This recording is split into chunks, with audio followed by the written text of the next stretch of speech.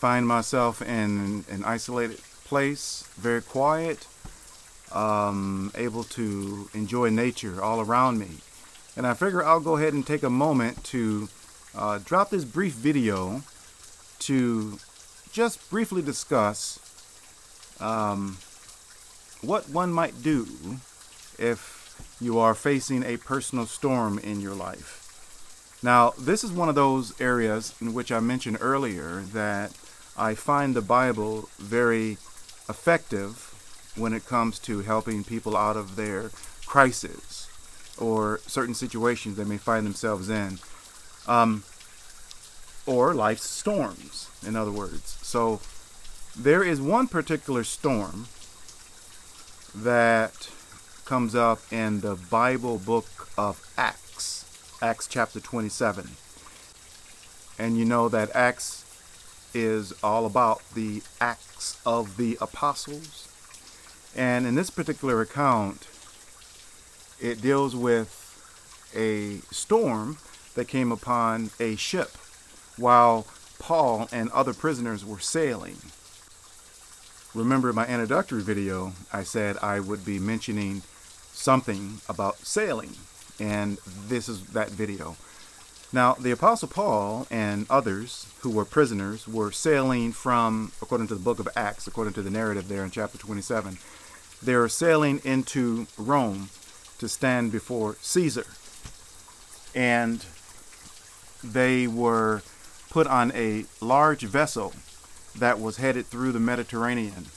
Um, and a, a, big storm seized upon them. A storm that one Bible translation, at least, calls the storm called Euroaquilo.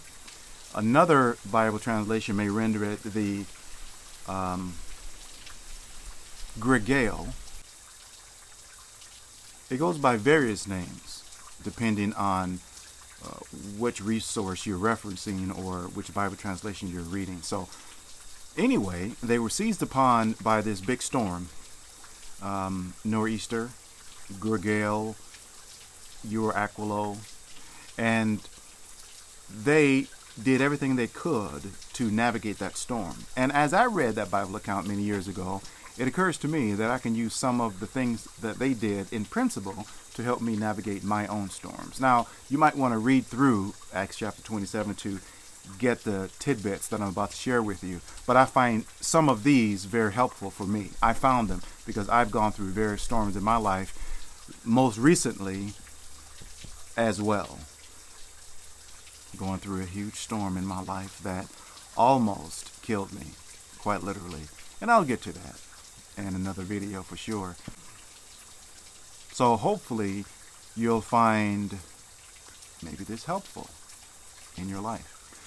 All right, so the storm came upon them, and the various things they did, uh, according to the narrative there in Acts chapter 27, is they, at one point, they just dropped their sails and they were driven along by the storm.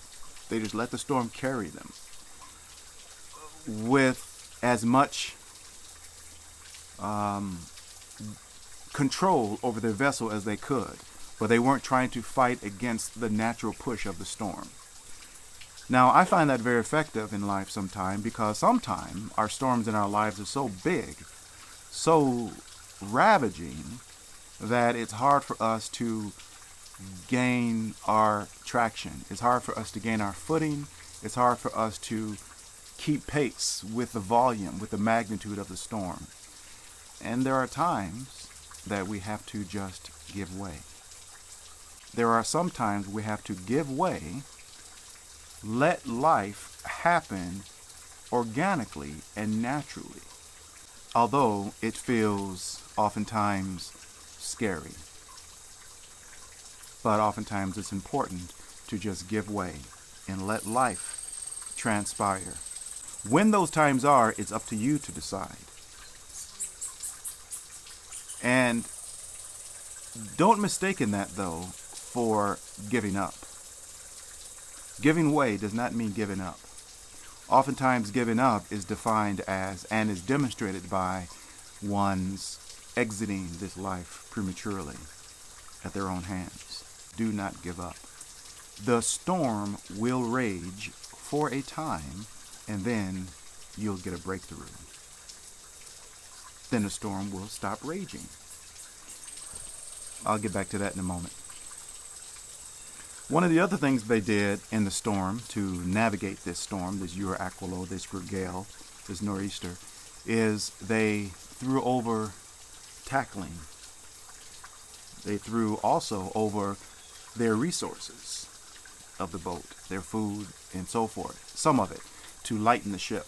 There are times where we go through life and we are burdened down with so much that we need to lighten our ship, so to speak. We need to lighten our load. There are times we need to decide what is it that's crucial at this moment in our life. When they packed the boat, of course, they had all their life's essentials. By the time they got to where they were going, you'll find that at the end of this brief little video, that they had nothing in hand except their lives. But in the meantime, they had to lighten the ship. Their food at the moment, their resources at the moment, their tackling at the moment was not as important as their current lives at that very moment. So they had to lighten the ship and let go of things in their lives that at one point feels critical and important, but at this particular moment in that Mediterranean, they needed to save their lives first. So there are times in your life that you feel like you got to hold on to this and this and this. In point of fact, you have to let go of this and this and hold on to this. This being probably just your life and your sanity and your well being. Sometimes storms call for us to let go of that which was important before, but not so important right now. Now, what does that mean for you in your own storm? You have to decide that for yourself. And talk to friends, those who you trust, and they can help you with that as well. Now, all of these individuals on the boat, including the Apostle Paul, were all prisoners. So they had to work together. They had to come to a general consensus to decide how they were going to survive together. So get with friends who can help you make decisions that are wise for you and that are life saving in your storm. Another thing they did, which I found very interesting, is you know, back in those days, and perhaps now too in certain areas, boats are made with planks. So just imagine my fingers um, representing the planks of a boat. They come together, and the boat looks like this, right? Looks like this, and that's where they all are sailing. They're sailing along. Now the storm was so violent, came to a point where the planks started to, along the bottom of the boat, started to come apart like this. So they needed to do something. The narrative says that what they did is they, uh, two individuals, in essence, I guess it was two, had straps of some sort, and each of them will walk forward carrying the strap. They would drop it over the front of the boat and work it through to the middle or so to wherever they need it and bring them together, winch them tight to bring those boards back together to undergird that boat, to keep that boat together. Um, one Bible translation calls that device that they used, it calls them helps. I like that particular wording. They used helps to undergird their boat. I like that wording because there are times in our lives that we're facing our storm, and sometimes we feel like we have to go it alone. But in essence, there are others who are there to help us to undergird our own ship, our own selves and there are tools that are at our disposal that maybe we may not be aware of that are there to help undergird our boat too. So use your helps, whatever your helps are. And this is why counselors and such, they suggest that you go to um, other counselors, group therapies, self-help groups, someone though who has the training to facilitate these type of discussions to identify where your helps are in life that you may not be aware of that can help your boat come back together as you navigate your storm, but to help you stay mentally stable in order to navigate your storm. Find your helps. Some people find them in um, church leaders or religious leaders. Some people find them in other readings. Some people find them in mental health professionals. Um, your parents, your children, your best friend, whoever, find those helps to, to undergird your boat, whatever those might be. And you might need some assistance in putting those in your life, bringing them forward in order to help you bring your boat together. So talk to those who might know uh, how you might best use helps to bring your life back together. Your storm will continue to rage, but you will be together able to navigate that storm. Find your helps to undergird your boat. All right. Three more things I'd like to mention that they did in that account in Acts chapter 27 to help navigate that storm. One thing they did was they ate. They ate. Paul, interestingly enough, was, according to that narrative, the only one who was serving a particular God. The others weren't necessarily serving that same God that Paul was serving. You know, his God felt like to Paul to be the true God. And he came to them one day, because they were out on the Mediterranean for a while. He came to them one day, the storm was still raging, and he said to them, Be of good courage. Be courageous, men. We are going to live. And the reason we're going to live, the reason I know we're going to live, is because the true God whom I serve, this is Paul speaking, uh, had an angel come down to me last night and tell me that we will survive. We're going to lose the boat. We're going to run ashore. We're going to lose our boat, but we're going to get our lives. So be of good courage. We're going to stand before Caesar. We're going to make our destination. So be of courage. But eat. He told them to eat, take nourishment. And so all that they did not throw overboard, they were still able to eat. Keep their strength. So that's important too. Keeping your strength is very important. And this means good diet, good exercise, good sleep. Those are the, that's a powerful trifecta in our health and well-being, isn't it? Mental health and otherwise. It's a powerful trifecta. Not the only things, naturally, but a powerful trifecta is diet, good diet, sleep, and exercise. Keep your strength up. That's important. Because here's the reality. As bad as storms are, they all come to an end. All of them. No matter what it destroys in its wake, they all come to an end. And we could be there at the end to see the sun shine again. We can. But one very important thing is for us to keep our strength up. Diet and exercise and and uh, rest, sleep. That's important. Okay? That's one thing. Eat.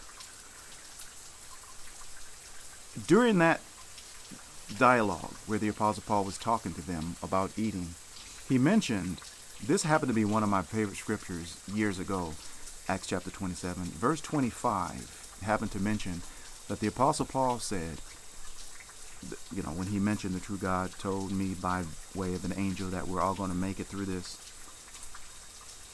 Verse 25 said, I believe God. That's how one Bible translation rendered it. I believe God. Three simple words. And during the time where I was in that same mindset, I found that to be the most powerful three words in the whole Bible. Now, this posting is not to encourage you to follow that frame of thought. I believe God. Now, if that's what you want to do, do it and do it well. Believe God if that's what you believe. But the point I'm making with this is whatever you believe, believe it strongly. Unless it's limiting beliefs, self limiting beliefs, and self destructive. If it's a belief that's going to move you through your storm, hold on to that belief because that belief be it from God, your whoever, your friend, your counselor, or whoever, this belief of your survival, of your making it through this, is critical to your making it through it. Belief is strong. Doesn't make it always real, but it makes a big difference in how you navigate your storm. Some people navigate their storm with fear and and terror. And their mind then is not so sharp. Some people navigate it with courage and belief that they're going to make it. And that has that goes a long way. That goes a long way. Belief strong. Okay? The last thing that I just want to mention from that account is yes, they, they did lose the boat. They came close to shore and they ran ashore and the the surge of the water was just so intense it destroyed the boat.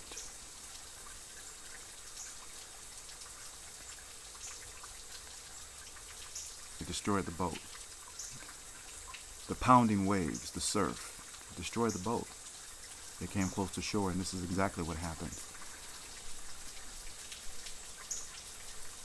The last thing one of the uh, people there on the boat told the men to do is to grab hold to a part of the boat, one of the planks or some other part of the boat that was destroyed now in the surf. Grab hold to one of those planks. If you know how to swim, swim to shore.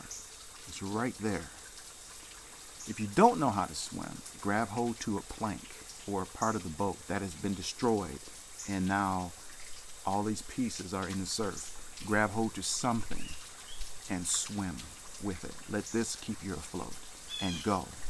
So you still need to work for your for your safety, for your uh, making it through this.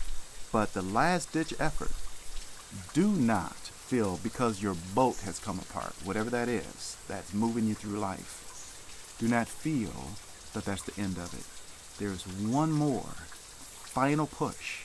Grab that plank, whatever that plank is. Goes back to the helps, doesn't it? When your boat was together, the helps held it, keep it together. When it came apart, sometime our life just comes unglued. Sometime it does. You lose all your friends. You lose all your family. Everyone who your social structure that you were riding with, the ride and die crew, the ride what do they call it? The ride or die crew. Those people who were with you from the beginning have now abandoned you. Now your life has pretty much come unglued from your perspective. What do you do? That last ditch effort, that plank, because the shore is right there. Right there. Grab hold to your plank, whatever that plank is, whatever that part of that life is that you can hold on to. Hold on to it. Help you get to shore. And as it turns out, they were shipwrecked on Malta. And eventually, though, they were able to leave Malta and keep on their journey and stand before Caesar. Paul was right. Paul was right. Incidentally, Paul did tell them, "Hey guys, I told you this is not a good sailing uh, season right now. We should we should not get underway." Paul told them that. Now, he, it wasn't an "I told you so" moment, but it was definitely an "I told you so" moment. Paul wasn't rubbing it in their faces, but he told them, "I told you not to set sail." Because I was reading the skies. I was reading the conditions. I know the time of year. Um, these men, of course, the captain of the boat and the uh, the other hands, they were experienced sailors too, and they, no, Paul, you're, you're gonna be all right. They didn't listen to him. Listen very carefully to your conscience, but also listen very carefully to others' words. You may not think they have much value, but you never know who's giving you advice that can help you. You never know. Pay attention. Keep your eyes out there and your ears as well. Pay attention. So the Apostle Paul did give them good advice. They didn't heed it. And this is the condition they found themselves in. But